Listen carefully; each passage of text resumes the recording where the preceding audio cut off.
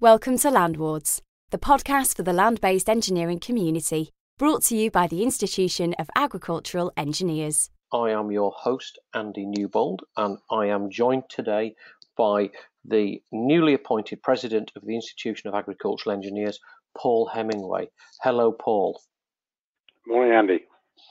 Uh, thank you for joining us. Um, I will start with what I will call my air hostess routine, in that um, not only are there no fire alarms planned for this podcast, um, we also have a disclaimer that anything which is represented is the personal opinions of the participants, namely myself as the host and Paul as the guest, rather than representing the formal opinion of the Institution of Agricultural Engineers. That's the disclaimer out of the way. Um, so, Paul, maybe in your own words, can you tell us about your background and why you became an agricultural engineer? Yes, of course I can do that, Andy. Uh, but first of all, before I start, could I just say uh, a big vote of thanks to Professor Jane Rickson, our outgoing, and by the way, our first ever lady president who has just completed a really successful two years in office. She's done a great job and uh, is going to be a hard act to follow for me. Anyway, back to myself. I was uh, I was brought up in West Wales within a farming community. Although my father wasn't a farmer, he was a municipal engineer actually who married a farmer's daughter. So I've spent a lot of my youth on farms. And of course, life then was very different. In in West Wales, typically uh, a farm was 80 to 100 acres probably milking 40, 50 cows, um, and so very much a family affair.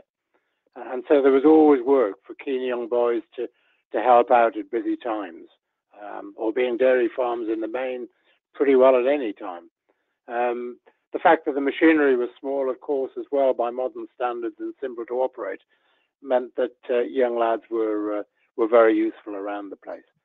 I'd probably have liked to have farmed full time, but uh, I've got a few dust allergies, and so this would have been difficult. And so ag engineering was a, a good alternative.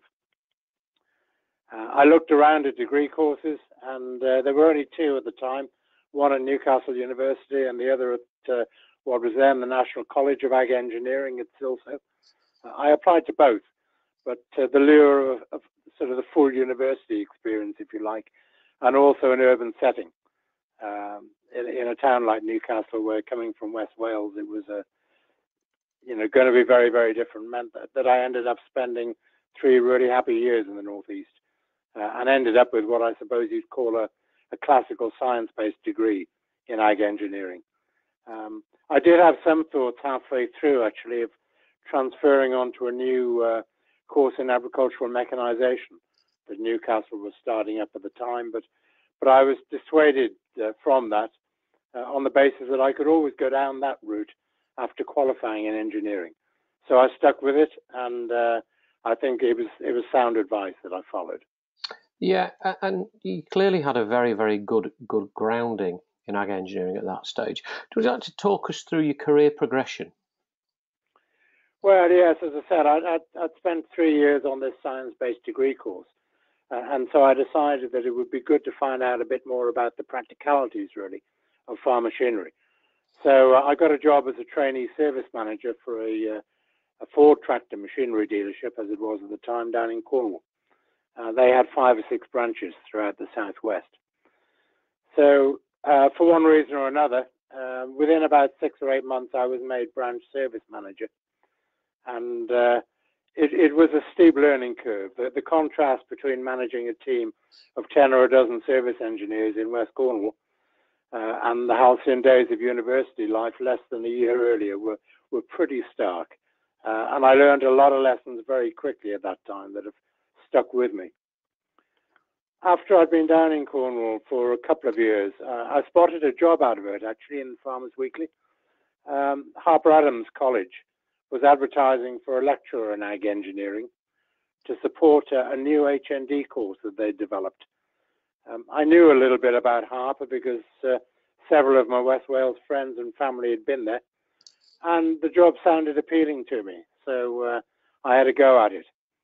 And it was at this stage, actually, that I also applied to be a student member of the IAgrE, uh, I guess in an attempt to, to strengthen my job application. Well, I was appointed to the Harper job, and, and for the first time in my career, I found myself part of a small team at the outset of a brand new project. And I spent 11 really very happy years at Harper. Uh, this included a year on a lecturing exchange down at uh, in the South Island of New Zealand at, at, Lincoln University. Over the years at Harper, I, I helped the course develop from, from HND into the degree level offering, which still runs today, some some 40 years on. Um, I suppose it was a happy coincidence as well that the, the Wrekin branch of the institution generally meets at Harper Adams, and uh, my colleagues in the engineering department were all members. So active involvement in the branch became very easy for me. Uh, it also created a ready-made network, really, of like-minded people in the area, and several of those have been long-term friends of mine now. Well, in the late 80s, I was approached by JCB to do some consultancy on a project which they had running to develop a high speed tractor. They'd been selling telehandlers into agriculture since uh, the late 70s, and it was clear to them that tractor design as it was then had some shortcomings for modern farming. Tractors were slow, they had no suspension, they weren't designed for the increased amount of time they were spending on the road or in higher speed field applications. Well, the project progressed, and I was invited by the team to test drive an early prototype alongside other radical machines of the day, I suppose the MB-trac and the Unimog, in a side by side comparison, which you can probably imagine for a college lecturer was a pretty privileged day out. I, I really enjoyed that. Um, when it became clear at JCB that the project was a runner, uh, they um, set about expanding the team, and I was asked to apply for the role of service manager. And, and needless to say, they didn't have to ask twice, I don't think. Um, looking back, those two years I had in Cornwall as a service manager in a dealership stood me in really good stead. And there, for the second time, I found myself part of a small, highly dedicated team in the early stages of development of something um, in this case, a brand new concept vehicle. It took about a further 18 months or so for the Fastrac, as it was to become known, to be shown to the market at the Smithfield Show in 1990. Seems like a lifetime ago now. The um, the response was overwhelming. I think it was quite simply the talk of the industry, and I, I count myself as being really fortunate to have been in at the beginning, so to speak. Um, I spent the next 11 years with the Fastrac team and ended up responsible for service, product marketing, and export sales functions. So in about 2000, I moved across to the construction machine side of the business at JCB and have spent the last 18 years in a variety of functions, all of them really on the uh, what I would call the customer facing side of the business. So field service, technical service, dealer training, parts marketing, and so on. So this has given me a great opportunity to work with the JCB dealer network on a global basis, both from the office and on territory around the world. In 2012, I was asked to move with my wife to Delhi to uh, to take up an appointment as uh, vice president of service for JCB India. Uh, it was a reasonable job, really, responsible for a team of about a 120 or so staff based both within the JCB factories in India and throughout the country in the regional offices. Uh, and this to me was a, it's probably the, the biggest job I ever had and uh, a really rewarding position. Although, having said that, it was very hard work. I think the culture shock of, of moving from the UK to a developing country like India, um, with with the climate, the language, the traffic, everything about it was was so different. Um, but what I did find in India was a country that, that places real value on their engineers and also on the experience that older people can bring to the business. Well, I retired from, from JCB in, uh, in 2018 and I'm now, uh, life has come full circle. I'm now involved as a, visiting lecturer back at Harper Adams University, as it now is, a, a very different establishment from that which I left 30 years ago but I'm pleased to say it's really flourishing. Interestingly, on the Harper Adams note, Paul, um, you, you, interviewed a very fresh looking Andy Newbold in the autumn of 1988 to uh, to to uh, do a BEng at Harper Adams, which he subsequently did. So you can take either the credit or the blame for interviewing and offering me a place all those years ago. Yeah, I, I, did, I did have a good sense to uh, to leave Harper Adams in, in summer '89 before you started. Yeah, it was noted. It was noted. um, that, that's that's fascinating. Um, what advice do you have to give to younger engineers or potential engineers to help them carry them through their careers? it's very tempting, isn't it, to reel off a sort of series of pearls of wisdom to answer that this sort of question. And when you look at the working world today as it is facing young people, it's so different from the world that I faced 40 years ago that that some of them wouldn't necessarily read across. So, some do, however. I think probably the understanding that engineering is a is a critical and really rewarding profession, and, and engineers should be immensely proud of, of the careers they've chosen. The experience we're just going through with COVID-19 just illustrates how important it is that we have some designs, some developments, and manufacturing capability in, our own country. None of this happens without engineers. And, and you know, COVID-19 has given us a number of lessons, and there are going to be books written on it, aren't there? But you know, the importance of having homegrown food in a crisis like this is, is really critical. And uh, food production at any level needs machinery. And hence ag engineering, if you like, as, as I see it at the moment, it's in a bit of a sweet spot. People need food, they need it produced at home, and, and we're right in the place to help farmers and growers do that. I would urge any young people coming, well, frankly, into any job, let alone engineering, to try and develop some excellence in communication. Uh, both written and, and verbal communication. Without question, those with good communication skills progress their careers in advance of those with lesser skills. To some, it comes naturally, to others, it doesn't. They have to really work on it. But uh, I've employed a lot of young people over the years and watched their careers develop. And it's those with communication that really stand out. I think young people have to have ambition ambition rather, and um, you know you've got to have some goals, haven't you, about how you want to see your career developing. But but also at the same time, you know, career development is not an exact science. There's a lot of luck in life. Um, you know, the right opportunity comes up at the right time, or the person whose job you want moves on to create the opportunity for you. You know, I've had an amount of luck in this respect in my lifetime, but but I also believe that the harder you work, the luckier you get. You can definitely make your own success. Um, be professional as well. I mean, clearly that's what IAgrE is all about. But the way you act, the way you interact with people, the way you treat people, be professional. You'll be thought better of and be a better person for acting in this sort of way. And I guess lastly, don't expect life to be fair. It isn't. You know, nobody said it had to be life, as the saying goes, is uh, is what you make it. Absolutely, I couldn't agree more. Um, Paul, looking to, at your membership of the Institution of Agricultural Engineers, how has this membership, how has the IAgrE helped you through your development and throughout your career? Well, Andy, as I said earlier, definitely really through networking at both a local and a national level. I think the process for me of getting CEng registration was a valuable professional development exercise. It did make me take stock of what I was doing, what I needed to do, um, the responsibility I needed to gain. And it's a recognition, frankly, that I still really value 30 years on. Um, I've always enjoyed reading the institution journal, and I've even written a few articles over the years on subjects of interest to me, which which are good to look back on, but but hopefully of use to students even uh, even today. I do think that the fact that we have a specific professional engineering institution for ag engineering is a real bonus.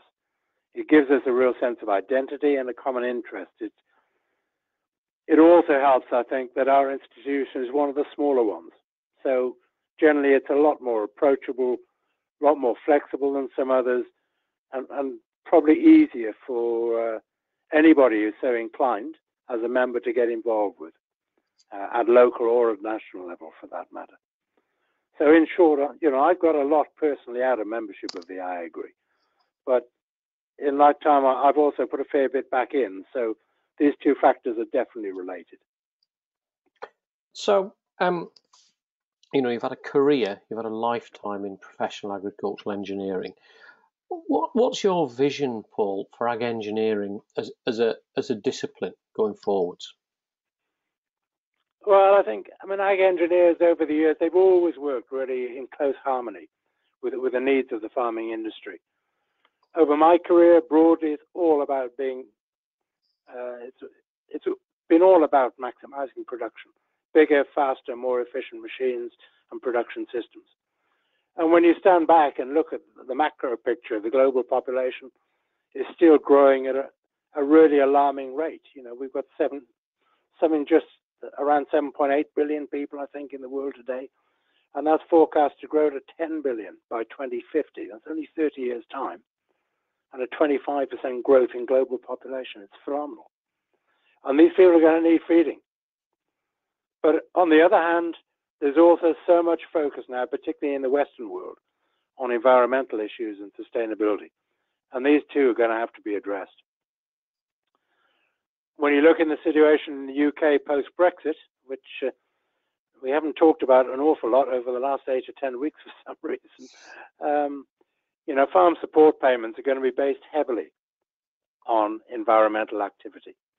Um, inevitably, this is going to throw up engineering challenges and the ag engineering industry is going to have to rise to them. I'd agree with that, hundred um, percent. So you're you're just taking over the reins as president of the institution now, Paul. What would you like to achieve in your in your two year tenure? well, I think anybody coming into this sort of job, you know, would like to see the organisation become larger and stronger during their term of office. Um, having said that, it's probably fair to say that I don't think there's another IAgrE president who's taken over since the war who, who's uh, inherited such a time of economic uncertainty as we've got just at the moment.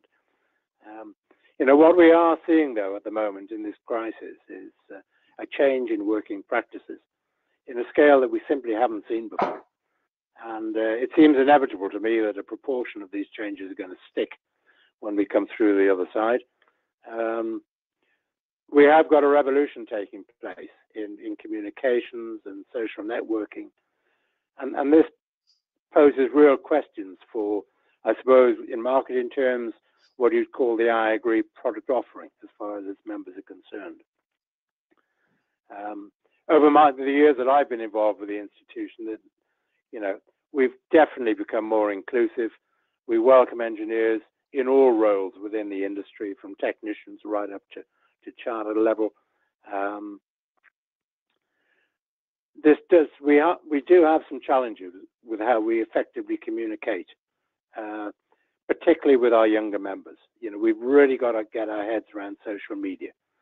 It's, it's not to say we're starting from scratch here; it happens already, but we've really got to consolidate and improve this. Uh, we we do have an app in development, which we're planning should be available in the next couple of months. So this should help, particularly our younger members, to stay engaged with us in a way that they feel most comfortable. I think also looking at the IAgrE over the last five or six years, it's become a very broad church. You know, really embracing members from the Society for the Environment, for example, as well as from from the uh, sort of traditional engineering fraternity. Um, well, in as much as a, a president can reflect his or his, her own interests, over my period, I'd like to ensure that we continue to reflect and promote the interests of our engineering membership base. Um, I am just aware that there's some feeling out there that IAgrE has become a bit diluted in the eyes of some. Um, I'm also aware that we're in a competitive world. Uh, engineers today have got a choice of about 40 different professional engineering institutions that they could be involved with and, and we just need to make sure that uh, ag engineers stay with us. Now, at the same time, you know, I, I don't think our environmental colleagues should have any fear at all. You know, as I said earlier, they're they're going to be an ever stronger influencer on, on farming and farm practice and ag engineering activity and uh, you know, having their expertise in house, so to speak, is going to be a real bonus for us all. And I can see, you know, a lot more interaction, frankly, between our engineering members and our env- environmental members as, as time goes on. Now, turning to some of the sort of specific headlines in ag engineering at the moment, what's your what's your take on the increasingly talked up big data, robotics, and AI within ag? yeah, well, I'm. It's, it's probably something to do with my grey hair. I'm not sure, but I'm I'm probably yet to be fully convinced that that we're going to see a paradigm shift in the use of these technologies in, in the near future. Um, I was at the 2019 IAgrE conference last year, which focused on big data, and I did come away with a sort of not sure about that type of impression. Uh, do farmers need data? Yeah, well, of course they do.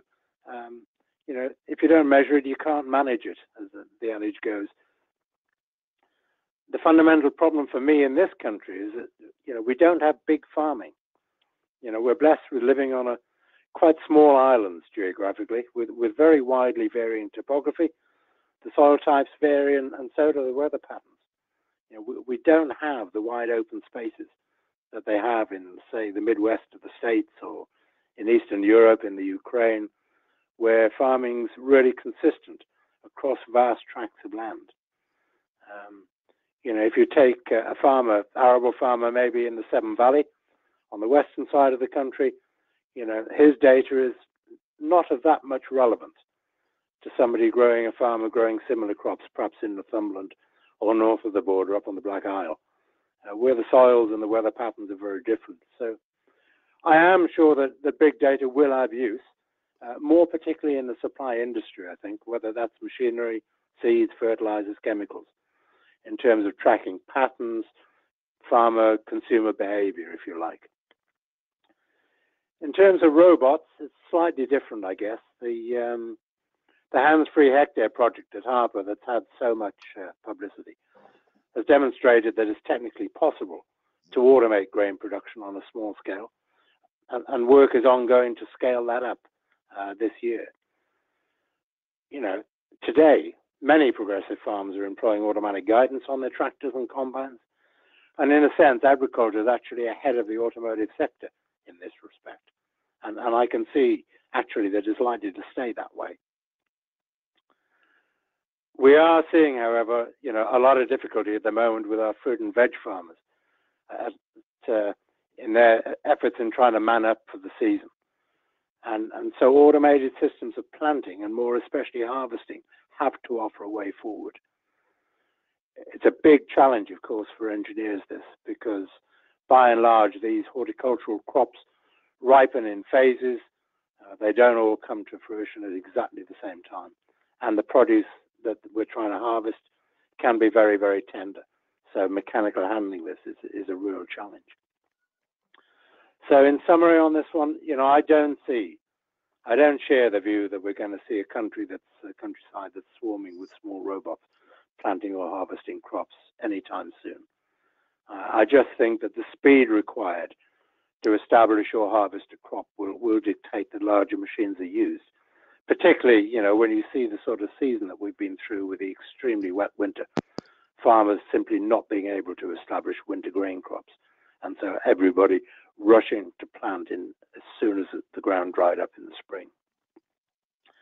Uh, so I can always see that uh, there's going to be some human intervention. It does seem we're getting more and more of these extreme weather events. Um, I, th- I think what farmers have shown down the years, though, is that, that if if the technology can be made available, you know, which makes their work easier, quicker, and, and hopefully at lower cost, they're never slow to adopt it. You know, I think our farmers have got a really good um, reputation, uh, and rightly so, for adopting new technology. Yeah, and, and, and change, whatever we say, change is often often slower than we think. But um, if the need is there, change can be very fast. Um, so let's let's think about the current current time. So, given the times we're living in, um, bear in mind this is being recorded in in on the 12th of May. So, um, you know, given the times we're living in, how can an ag engineer offer solutions within lockdown? Yeah, it seems to me, in a sense, that that ag engineers thought of this some time ago, really. Um, I mean, when you look at the scale of, of uh, field machinery and fixed equipment on farms today, you know, it has by and large dramatically reduced the number of people involved. Um, so, you know, in comparison to my young days, now it's it's very common for seven or eight hundred acre arable unit to really be run by one person, uh, just with a bit of help at harvest, or one person milking 200 cows through a modern parlor, or, or with the help of a robotic setup. Um, so, you know, I think I think you know it is acknowledged um, that that many farmers today are more or less in a situation of permanent self-isolation. Now, as I said earlier, if you look at intensive fruit and veg, that's that's a very very different situation. Um, in terms of support for the farmers, I think my sense is that the farm machinery dealers have, have tended to remain open, at least at a level, and their engineers have been supporting our farming customers who've been incredibly busy. Uh, as I said a few minutes ago, just um, you know, getting on with the crop establishment in in the uh, in the wake of this incredibly wet winter. Behind the dealers, then the manufacturers, parts supply businesses have stayed very much open, um, and uh, I think what this whole crisis, you know, is flagging up is that those companies who have embraced technology, who have um, developed good online communication technology, whether that's parts ordering um, or, or, delivery, are those which are flourishing today. Um, and going forward, you know, you have to suspect that having this is no longer going to be an option. It, it's simply going to be an end ticket to the game. If if you want to play in our industry, you've got to be able to, to transact digitally it's it's become the default way to get anything, uh, whether whether that be um, your food shopping at the moment, Paul, for most people, let let alone a filter pack for a tractor or, or a bearing or you know whatever else is required. Um, just taking the long view, Paul, and this I think is probably my final question. You know, what step changes have you seen in ag engineering during your career, and what do you think the next ones will be? Yeah, I must admit, I was at LAMMA back in January Again, that seems like an awful long time ago when we could actually get out and meet people. But it did strike me then when I when I sort of thought back to to the first Smithfield show I went to back in the early 70s. You know, it was unrecognizable, frankly, when you look at the machinery. Um, having said that, you know, it's a long time ago. That was 40 years ago. Uh, and if you'd have gone back another 40 years before that, you know, the prime mover on most farms would have had four legs. So, so perhaps our change has not been that significant. Um, one of the big changes being, well, well, obviously organisation of the industry uh, and the supply chain, frankly, from field to plate. Um, farmers have got bigger, of course. They've specialised in what they do. There aren't the same number of, of truly mixed farms today or anything like. Um, far greater use of contractors to to undertake specialised operations on farms. And of course, the supermarkets are dominating the retail sector with their immense buying power. And, and, and so, you know, they are dictating so much of what happens on farm today. When you look across to the machinery, then, you know, that's just increased to a size that the farmer of the, the early 70s wouldn't recognize. Um, and this has a direct bearing, it's not just about the farmer, but, but on the size and the structure of dealer that's able to supply and trade this sort of equipment.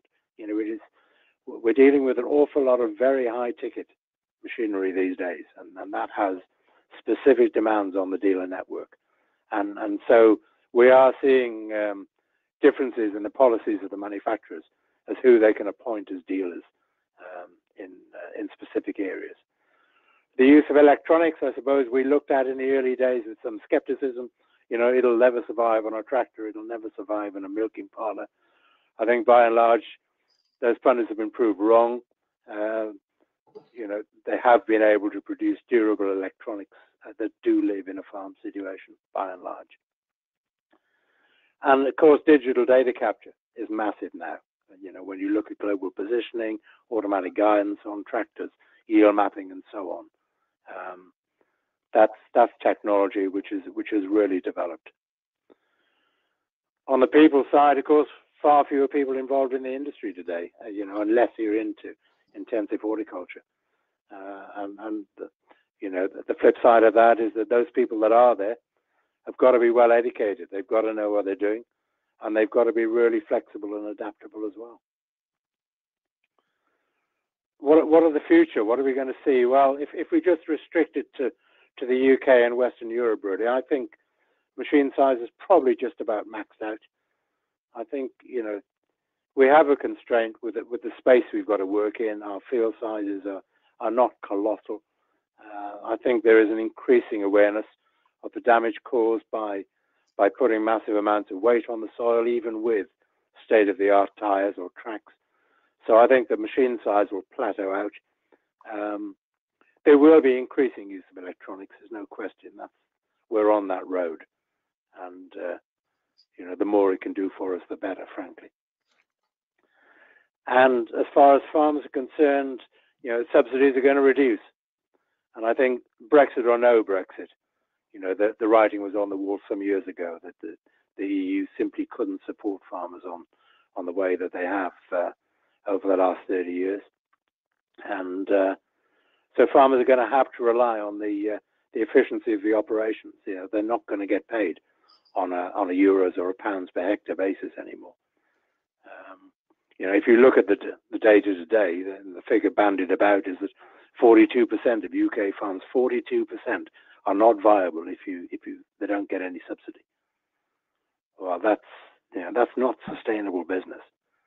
You know, and when you look at a business, it doesn't matter what business it is. You know, it comes down it comes down to six words. People can either sell more or they can increase the price of their goods, or they can reduce the cost. Sell more, increase price, reduce costs. Well, you know, farms farms are not like most other businesses. They tend to buy stuff retail and sell wholesale, and that's not normally a great business proposition. Many sell on on contract, so they don't have control over the price. You know, ask any dairy farmer if they want a different price, they've got to change contract, and there aren't that many options. So fundamentally, farmers are left with having to reduce costs to stay in business. And, and I'm sure that uh, that's something that's going to generate huge focus um, in the near future. And uh, this farming taking um, cost out, stripping as much as possible out of the farm situation if they want to stay viable, is something that uh, farmers are going to have to do. And the ag engineers behind them are going to have to rise to the challenge of uh, designing and building machinery to suit to suit this new constraint. Well, you know, Paul, that has been an absolutely fascinating insight. I have to say, um, you know, I thoroughly enjoyed listening to your your professional journey, your your thoughts on, career development, and, and, your thoughts on where where the industry is going and how ag engineers fit in with that. It's a really really good um, you know, albeit in 30 minutes, um, romp around a very, very large subject area. So I really appreciate that. Thank you very much.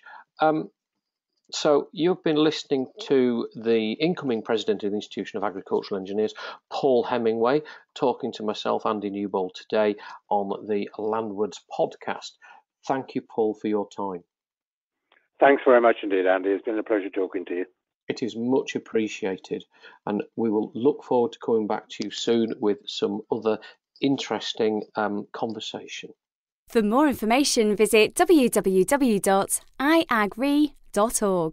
You have been listening to Landwards, the podcast for the land based engineering community, brought to you by the Institution of Agricultural Engineers.